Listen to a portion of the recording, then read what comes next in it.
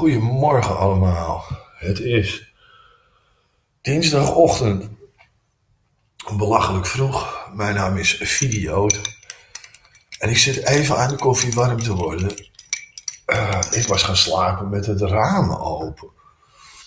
En dat betekent dat het nu uh, 16, 17 graden in huis is. Oh, dat is lekker. Uh, ik ben Videoot en ik ben een diehard fan van deze mevrouw. Burgemeester Femke Halsema, de allerleukste en allerbeste burgemeester in de hele wereld. Of all time. Um, ik weet niet precies wat ik aan het doen ben met dit uh, YouTube kanaal. Ik ben gewoon een beetje aan het pielen. Ik ben gewoon een beetje aan het pielen. En vandaag uh, ga ik mij bezighouden met wat welverdiende ontspanning. Niet alleen voor de trouwe kijkers en luisteraars thuis, maar ook voor burgemeester Halsma. En vandaag gaan wij een spoiler review doen van Hold the Dark. Uh, ik zal heel eerlijk met u zijn, de meeste films, de meeste films zijn waardeloos slecht. Er komen zoveel films uit op jaarbasis. En het grootste, het overgrote gedeelte daarvan is gewoon heel slecht. Oh, sorry hoor, maar als ik geen koffie krijg, val ik flauw. Deze film is tijdje geleden uitgekomen op Netflix. Dus niet in de bioscoop, maar streaming. En deze film is absoluut fantastisch. Zo af en toe heb je mazzel. Uh, en in die enorme brei die wordt uitgebracht door overwegend Hollywood, daar zitten gewoon af en toe een paar juweeltjes tussen. Um, en dit is er één van. Waar gaat het verhaal over? Nou, dat kunnen we kort bekijken op IMDb. Ik ga je wel waarschuwen, dit, dit verhaal is een beetje misleidend. Want hier staat, after the death of three children suspected to be killed by wolves, writer Russell Core is hired by the parents of a missing six-year-old boy to track down and locate their son in the Alaskan wilderness. min of meer, dat is hoe de film opent. Dat is hoe de film opent. Hoe opent de film? Nou, deze mevrouw, die we hier zien, naast hem staan. En we zien haar hier naast hem staan. We kunnen wel even kijken hoe ze heet. Dan pak ik alle namen erbij, maar het is een hele professionele review. Eh... Um, mm, dat is misschien heel onhandig, want dan, dan wordt het lastig. Maar ja, goed, ze heet Medora. Heet ze. Dit is zij, Riley Keough.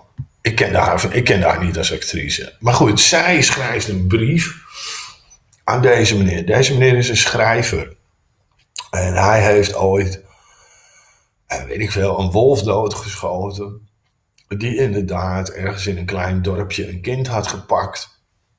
En daar is een boek over geschreven, maar dat is jaren geleden. Hij is inmiddels, zoals we kunnen zien, gewoon een oude lul geworden met allerlei gezondheidsproblemen. En zij schrijft hem een brief en ze zegt: Enige dagen geleden is mijn kind gepakt door een wolf. Ik verwacht niet dat mijn kind leven terugkomt. Maar wil jij voor mij die wolf doodschieten? Hij komt zowaar opdagen, daar had zij niet op gerekend. Zij is ook zeer verrast, zo van, oh, je bent heel oud geworden. En uh, zij hangt dan met hem in hun hutje. En zij legt aan hem uit dat haar partner, haar man, dat is deze meneer, die heet Vernon,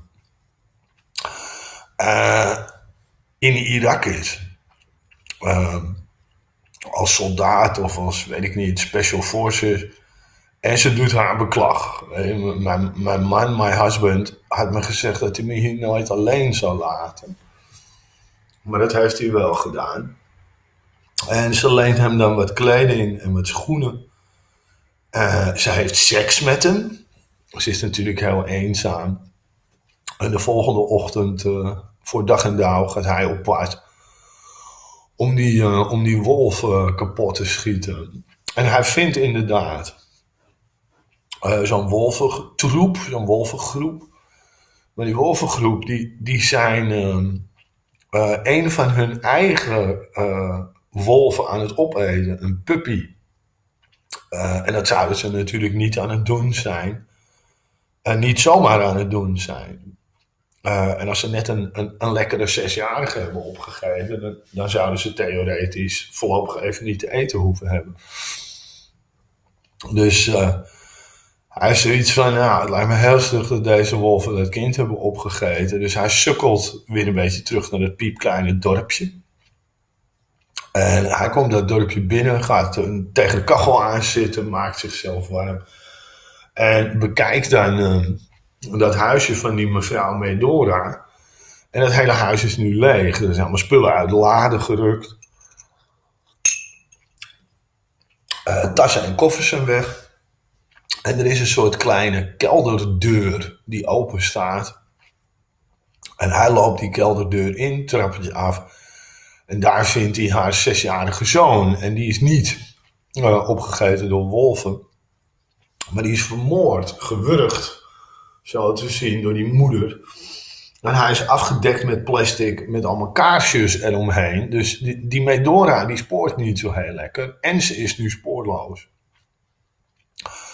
Dus nou ja, hij waarschuwt uh, de sheriff. De sheriff komt uh, naar het dorpje toe. En uh, ze vragen dan aan die, die wolvenmeneer van waarom denk jij dat ze dat gedaan heeft? Waarom zou ze plotseling de kind vermoorden? En dan zegt hij van, ja, god weet ik niet. Ik bedoel, vraag het aan die dorpelingen. En die dorpelingen in het dorpje, die zeggen allemaal dat deze mevrouw bezeten is door een wolf. een soort heks. Een soort duivel, een soort demon.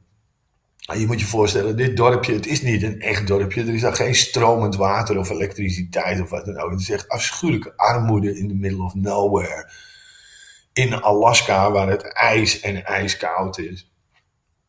Uh, dan switchen we naar Irak. en daar zien we hem, Vernon. En we zien dat hij een welgeoliede, ijskoude en kille moordmachine is.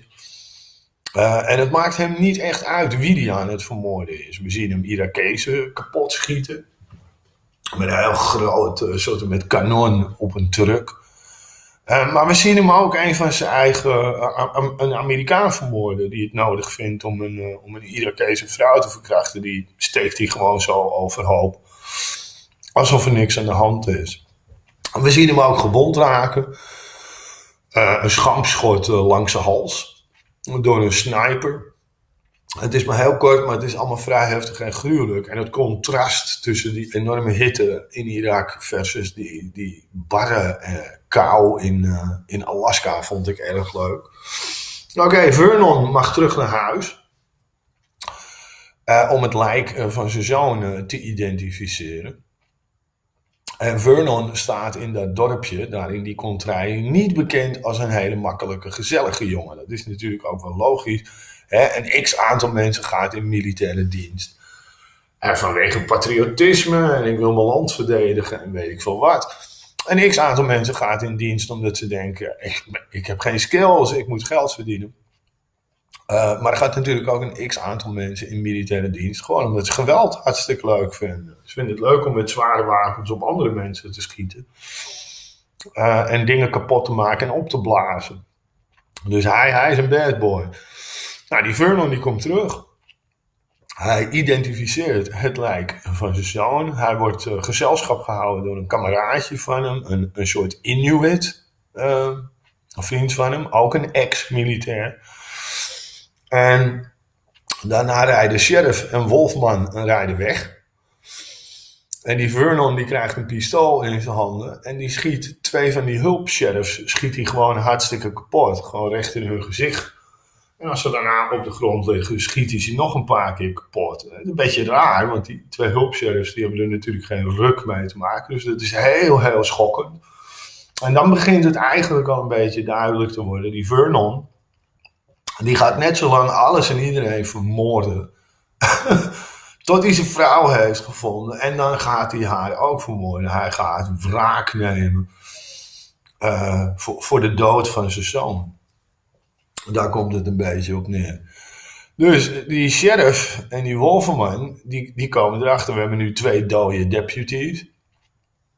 En we zoiets van, hebben we hier aan onze broek hangen? Dus we krijgen nu een soort drievoudige jacht. Hebben we. We hebben eigenlijk een viervoudige. Aan de ene kant begon het met hem die op jacht is naar een onzichtbaar wolf. Die, die dat kind dan iets gedaan zou hebben. Maar dat verandert nu dan. En het wordt nu een drievoudige jacht. Die Vernon die is op jacht naar alles en iedereen. Die contact heeft gehad met zijn vrouw. En op jacht naar zijn vrouw. En dan zijn de sheriff en die Wolfman, die zijn op jacht naar Vernon en die vrouw. Want ze hebben zoiets van, als we die vrouw nou eerder vinden, dan vermoordt hij er misschien niet. Ehm, de film is absoluut fenomenaal. Gewoon, ik ben sowieso een groot fan van films die zich afspelen in the middle of nowhere. Maar dit is echt absoluut fantastisch. Een van mijn favoriete films of all time. Het is wel heel zwaar allemaal. Het is een slow burner. En wat we volgen is de, de killing spree van Vernon. Hij hopt van jachtoutpost naar jachtoutpost en vraagt overal: Is mijn vrouw hier geweest? Ja, prima. Dan schiet hij mensen kapot. En we volgen die sheriff en die Wolfman achter Vernon aan. In het spoor van lijken wat hij, uh, wat hij achterlaat.